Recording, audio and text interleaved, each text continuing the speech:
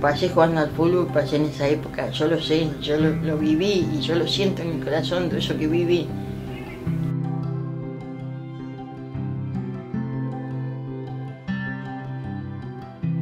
Le digo a ver que le pega, le pega eh, Messi de Champions, cosas, o, o el golazo que hizo la otra noche eh, Benedetto. Yo esa jugada la he hecho mil veces. Y la verdad, qué lindo recuerdo, qué lindo recuerdo. Gracias, Luqui.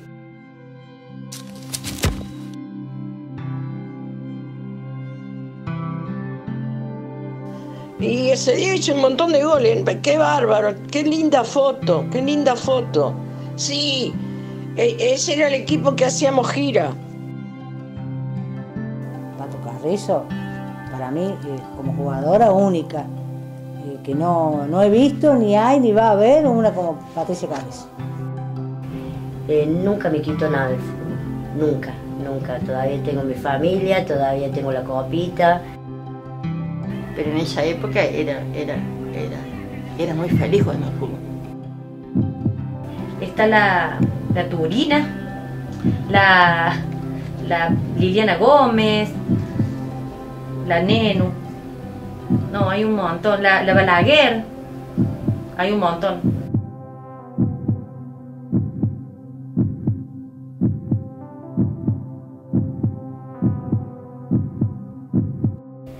No sé cómo empezó el fútbol femenino, pero la cuestión es que eh, salió un artículo o algo del, fútbol femenino en el Alberdi, y bueno, y me fui. Y como te digo, hace 50 años atrás, así que eh, calculé vos 50 años atrás, fui una de las primeras que jugó al fútbol. Y después fue tanto el furor del, del fútbol que, que habíamos armado nosotros, ya, ya había más, más conocimiento del fútbol en esa época, que vinieron los de Buenos Aires, eh, del equipo de Tigre Buenos Aires, este, a jugar a, a estudiantes, fuimos a jugar. Decían que jugaba bien, o sea, a mí me decían Pelé. Y fui eh, en esa época, en el año 64, 65 más o menos, y ahí me, me vieron jugar y me querían llevar a Buenos Aires. Hermoso, sí, me acuerdo como si fuera hoy, te juro. La que está atrás de Blanca es eh, Angélica Cardoso, Zunila Troncoso y Zulma Gómez. Ahí hay una, dos, tres, cuatro, cinco, seis de la selección.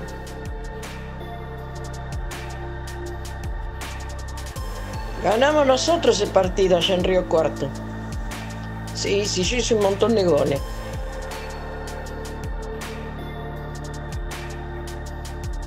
Fui a ver que era acá cerca un campeonato que había, campeonatos barriales que se hacían antes. Y bueno, pregunté si hacía falta alguna jugadora, así, quizás creían que yo sabía jugar bien, bien, no, no, también no jugaba en ese momento. Y bueno, y juego la primera vez con un equipo que, eh, el equipo de Alberdi. Estaba Patricia Carrizo, Rosana Bataglino y otras chicas más también. Yo tenía por lo menos eh, cinco años y nosotros en el colegio del campo, porque yo iba al colegio de Tres Acequias, este, jugaban el fútbol los chicos para, en sus recreos. Y yo iba a mirar los partidos y un día me metí, viste, como los chicos. Y descubrí que no solamente me gustaba, sino que lo hacía más o menos bien porque los chicos después me, me invitaban a jugar. Así que de ahí, bueno, y soñé siempre con, jugar eh, en un futuro este, muy lejano porque era muy chica y estábamos muy lejos de la ciudad.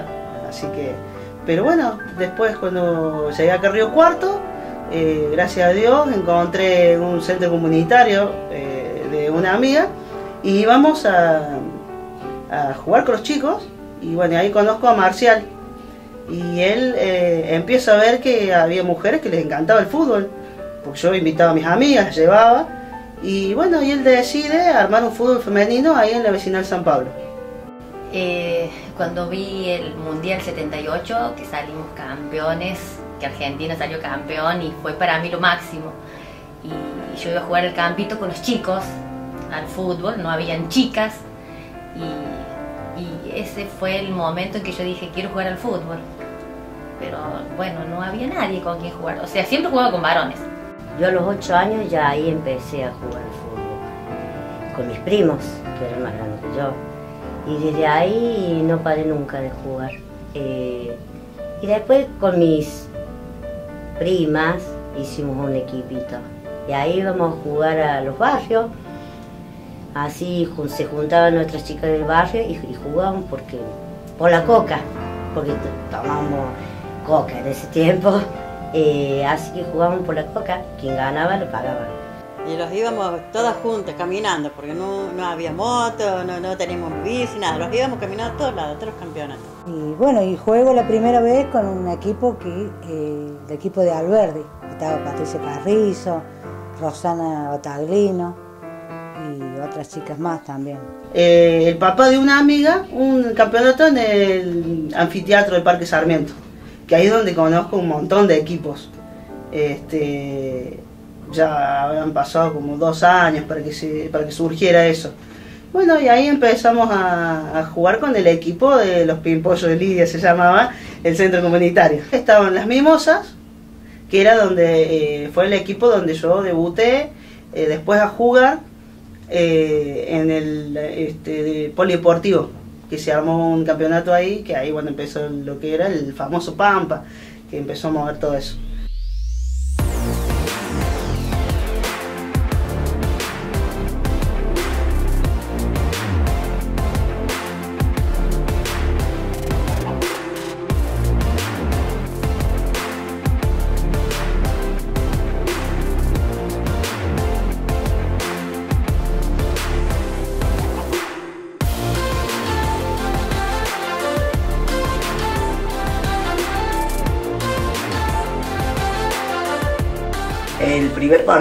Fue en el Alberdi eh, contra Trini López, eh, que ahí la conocí y después empezamos a jugar juntas en el mismo equipo. Primer equipo real fueron las estrellas de Alberdi, que fue cuando empecé a jugar con Trini López. Porque el otro equipo fue un rejuntado que fue un solo partido que jugamos. Y cuando eh, habían dos o tres equipos nomás, eh, hacíamos triangulares. Me acuerdo que el primer campeonato que se hizo fue allá en Banda Norte, en el IPB, que eran, éramos cuatro equipos que nos habían invitado y era un cuadrangular que decíamos. Desde ahí se empezaron a, a, a juntar, o sea, empezaron a venir más equipos. Ya eran muchos. Am, nos enteramos de un campeonato que habían hecho en Lomitas de Oro y, y dijimos, tenemos que ir, porque a donde había fútbol, ahí estábamos nosotras. Y bueno, fuimos, jugamos y, ahí explotó. Ahí se hicieron muchos equipos, aparecieron en todos lados, no sé, no sé cómo fue, pero de golpe habían 10 equipos. Nos íbamos a las 8 de la mañana, nos instalábamos allá en Lomitas de Oro, al frente de la Casa de la Chela, y jugábamos todo el día. Los campeonatos relámpagos eran hermosos. La gente se juntaba, apostaban, porque siempre terminábamos por ahí el equipo del Alberdi y nosotros, que era el de la Pato, con la Trini, eh, la, Patricia, la hermana de la Trini. Este, terminamos, eh, eh, eran ella y nosotras.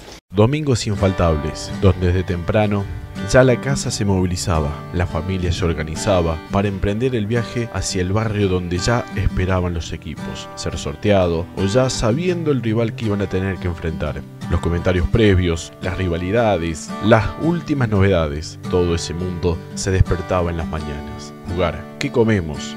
Los golpes, y todo se conjugaba hasta el atardecer, o quizás la oscuridad de la noche se apoderaba de la cancha. El grito de dale campeón o la sabia alegría de llevarse un puntito más. Y otras, quizás la bronca de la derrota. Todo eso era motivo de conversación para el lunes.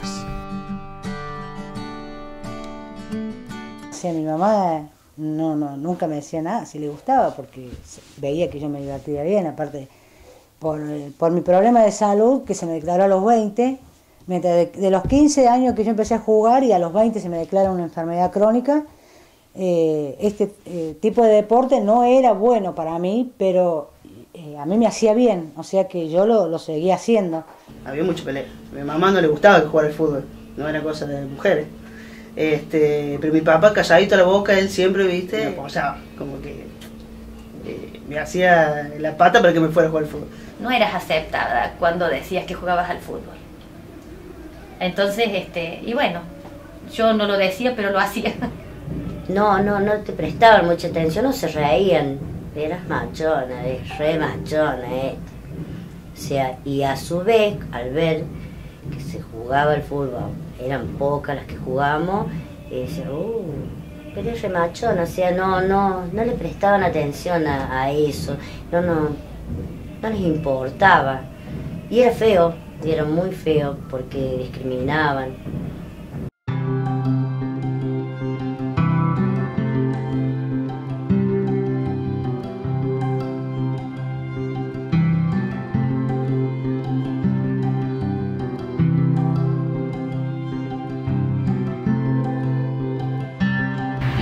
Cuando empiezo ya a ver esos grandes campeonatos se hacían en todos los barrios, en distintos barrios.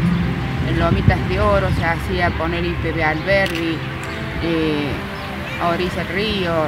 Ahí se juntaban todos, todos, toda la mayoría de todos los jugadores. Corría el año 2000 y las chicas estaban organizadas en una liga municipal. Parte de la sociedad comenzaba a descubrirlas.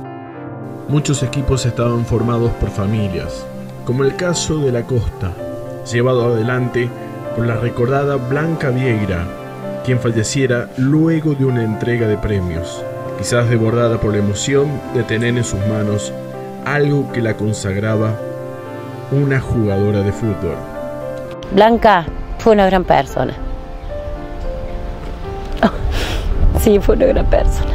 Una buena arquera.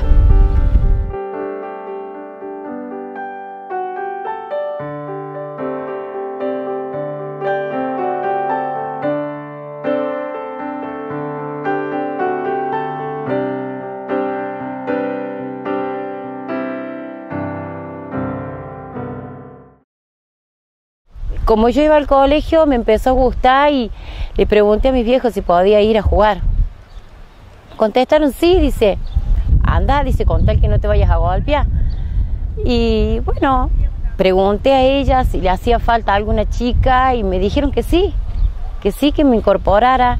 Y en ese tiempo jugaba con Patricia, Rosana. Bueno, yo empecé desde que podía dominar una pelota de chiquita con los chicos en el barrio. Ya después empecé a conocer eh, mujeres que juegan al fútbol, que es el equipo de la costa, en la cual las hermanas Díaz empezaron con el fútbol. Eh, sí, ellas eran Mónica Vieira, Roxana Vieira, su mamá. Eh, ellas nos iniciaron a nosotros en el fútbol. Eh, bueno, hermoso, esa era una época hermosa. Yo en ese entonces había tenido 12, 11, 12 años cuando empecé a, a jugar al fútbol. Jugábamos en una canchita que tenían ellas al lado de su casa, por la San Luis y Mariquita Sánchez de Thompson. Ahí jugamos. Y después se fue prolongando los otros barrios, a la orilla del río, en, el obrero, en, en todos los barrios. Empezaron a surgir todos los demás equipos, que era algo hermoso, porque no esperabas que llegara el fin de semana para poder jugar. Y bueno, ya después surgió lo del Centro 11, que se fue formalizando un poco más, polideportivo, anfiteatro. Nos enseñaron a jugar el equipo La Costa, las Vieiras. Con ellos empezamos a tener así encuentros, tanto como en la canchita donde vivían al lado los Vieiras, o si no, donde vivíamos nosotros. Y yo lo vivía con mucha emoción. Yo tenía 12, 13 años, o sea, el colegio, para que me dieran permiso el fin de semana poder ir a jugar. Eh, no, lo, yo lo vivía con mucha emoción, esperaba que llegara el fin de semana. El sábado se largaba a las 2 de la tarde, se jugaba hasta que se ocultara el sol. Y el domingo se largaba a las 10 de la mañana, ya empezábamos de vuelta. 6 y 1. A veces se jugaba de menos, se, achicaba la cancha porque mayormente a veces la, las mujeres más grandes no podían ir a jugar, por, tenían prioridad por su familia. Un domingo era lo paciente que te era que se llegara el domingo rápido para poder ir a jugar. Este, un grupo de gente que te decía, vamos chica, que se armó en la Avenida Argentina, eh, se hace el campeonato tal hora, empezaba a las 10 de la mañana, los levantábamos, los íbamos, nos reuníamos con ella. Eh, no, bastante bien, éramos todas futboleras. Empezamos yo, mi hermana, bueno, mi otra hermana, mi papá, que los acompañó mucho también, eh, mi mamá, ella nos acompañaban mucho. No, era lindo, era lindo el apoyo que había. En ese entonces yo, bueno, eh, la costa, como ya te dije, ella lo que nos enseñaron a nosotros, a meterlos en el ambiente del fútbol. Después está el Imperio, Precisión, la Banda Roja. Había muchos equipos, 112, algunos que me acuerdo, pero muchos, muchos, muchos equipos. Pero los más nombrados eran la Costa y Imperio. Yo, edad que tengo de chica, nunca pude entrar al seleccionado de Río Cuarto porque no daba con la edad. Ahora de grande, bueno, me tocó un año en el que pude jugar, pero ya sentía que el cuerpo tampoco no, no, no podía rendir al 100% como veía otras chicas. Pero no, fue linda la experiencia. para nosotros fue nuestra primera vez entrar a un campeonato que fue en el Centro 11, que nos llamábamos las Panteras Rosas, que ese, ese fue nuestra primera experiencia con mis hermanas y compañeras, amigas. Eh, fue muy lindo, muy lindo. Y ver, ver eh, la cantidad de chicas que juegan al fútbol y y la categoría de jugar al fútbol, ¿viste? Debe decir, porque nunca está, ¿viste? Que se no debe saber, patio un fútbol. Había, pero había chicas que jugaban muy bien al fútbol. Muchos lindos recuerdos, muchos recuerdos hermosos. Y bueno, el fútbol siempre lo llevo acá, en el corazón, porque es algo de chiquita que siempre me gustó. Eh, amo el fútbol, amo el fútbol. En cada potrero de nuestro país hoy encontramos chicas jugando, en clubes, en plazas, chicas que alquilan canchitas con su grupo de amigas. Son mujeres que se paran en estos terrenos y piden la pelota y abren la cancha combatiendo prejuicios aún existentes.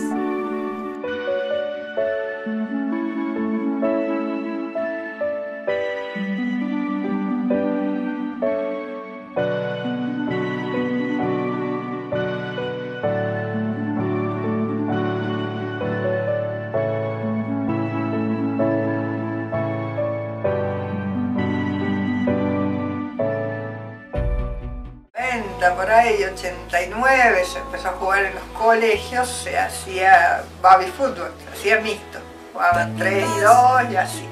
Así empecé a jugar en el pueblo. ¿Qué tiempos aquellos? ¿Dónde Muy lindas épocas, a pesar de que viajábamos todo generalmente salíamos 7 de la mañana y éramos de jugar finales, así que volvíamos 2, 3 de la mañana cuando había muchos equipos en los relámpagos así por, mucho por Adelia María, se jugaba en toda la zona. Eh, después sí, ya en el 95 por ahí se empezó a jugar más en el Río Cuarto y ya empezó la selección de Río Cuarto, entonces ahí sí que viajaba todos los días a práctica a Río Cuarto, al centro 11. Viajaba a dedo a Río Cuarto y para tener un pasaje que volvía a las 11 de la noche. A ver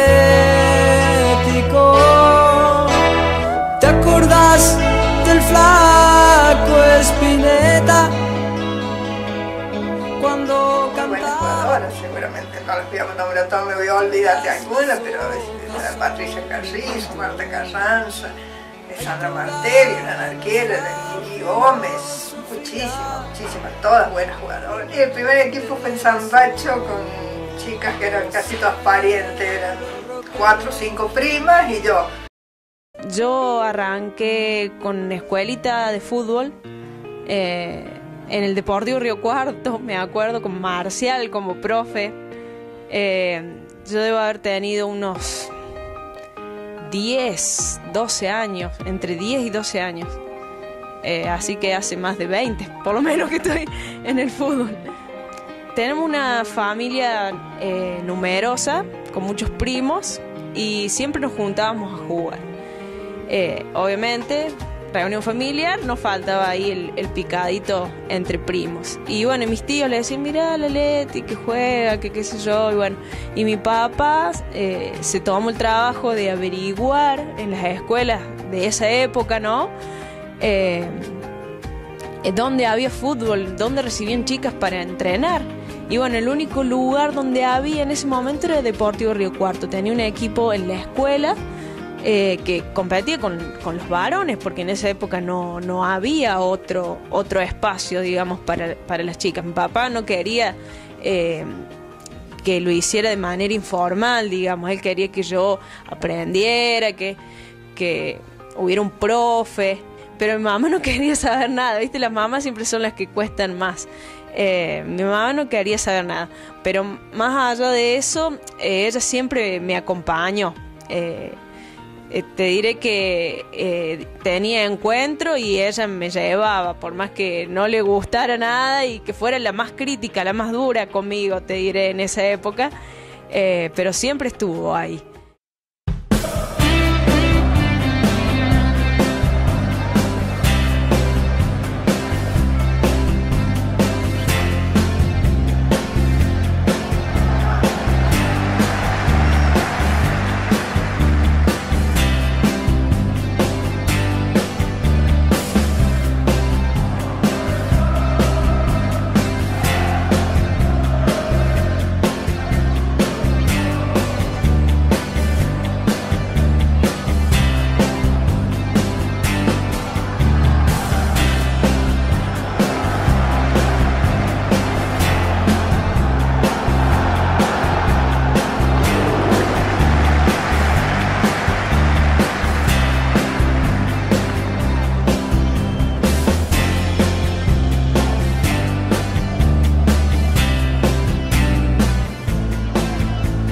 Yo empecé a los 13 años, acá en acordeón, en una canchita que era chica, con el equipo de San Martín, que eran las chicas Alturia, y eran mujeres grandes y era chica.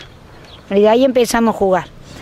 Y dejamos, dejamos un tiempo, no, no llegó al año, que volvimos a empezar a jugar con los potreros, que fue la primera que empezó a jugar, fue en la banda roja, la costa, eh, las chicas la chica Vía, el guapito, el bajito, el lo- lomita de oro, las mimosas, aren.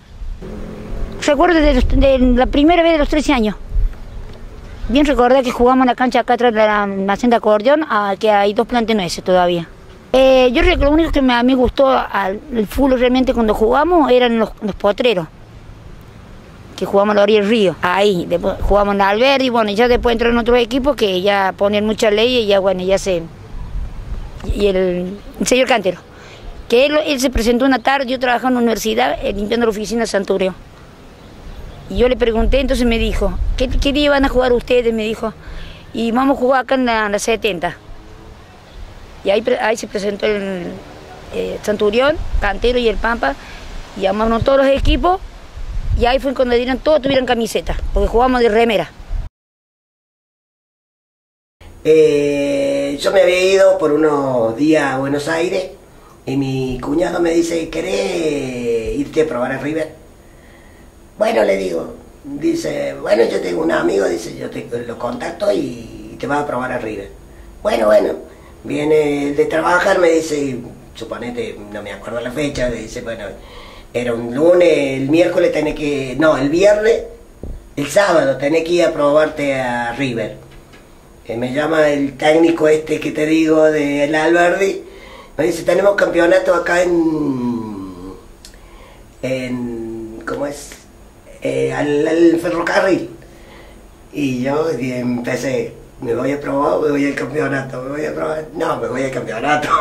Así que el sábado, el viernes a la noche me pegué la vuelta a Río Cuarto. Cuando me fui el seleccionado con Gallego Vega, este, llovía, jugamos un partido contra Rosario Central y me manda a calentar. Y en un momento sonó el silbato del que terminó el partido y él se había olvidado que yo estaba calentando.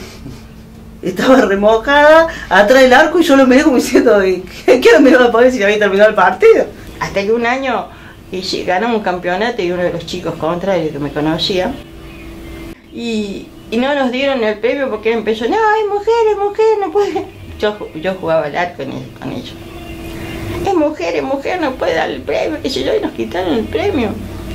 Me acuerdo que había problema con las López y vieron lo que es la Trini López, eh, chiquita es. No sé, que había pasado una jugada media fuerte, fue en ese campeonato así nocturno, y la golpeo yo sin querer, o sea, como el, como el fútbol. Y bueno, y no les había gustado nada, yo, viste, como que yo era más grandota, viste, y la agarro y la, creo que en el baño, no sé qué le digo, así. Y claro, yo no conocía, yo recién ahí estaba conociendo lo que eran los parientes de ellos, no los conocía todos. Y no sé qué estaba diciendo yo, cosas así, en eso veo, yo me hacía más grande, ¿viste? Le decía cosas a Trini López. Y en eso se acercó, apareció Patricia, no me acuerdo los nombres, pero las conozco a todas, las- a las López, pero no me acuerdo los nombres. Eran como cinco, parece. No, no, pero si no pasa nada, dije yo, claro, eran, eran como cinco, eran ellos, cinco, seis, yo, yo porque la veía chiquita, ¿viste? Ni sabía que otras iban a venir, claro, las tenía las hermanas, ¿eh?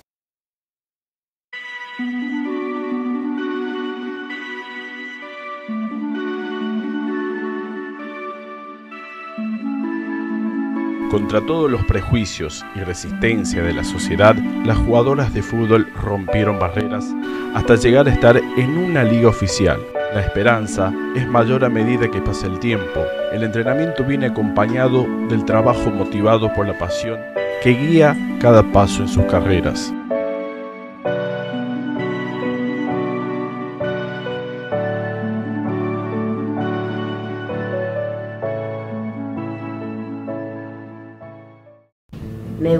Que hoy en día las chicas tengan más oportunidades que nosotras, que antes las luchábamos y nadie nos oía, nadie nos- Pero bueno, sí, me gusta, me gusta para, para que vean lo que sufrimos nosotras cuando éramos jóvenes. Sí, no, es como yo hablo con Trini, mi hermana, le digo, sí, es lindo ser la pionera, pero a mí me gustaría ser una de las chicas de ahora, en este momento, ¿no es cierto? Que está toda esta movida, aparte el apoyo tuyo, que siempre está.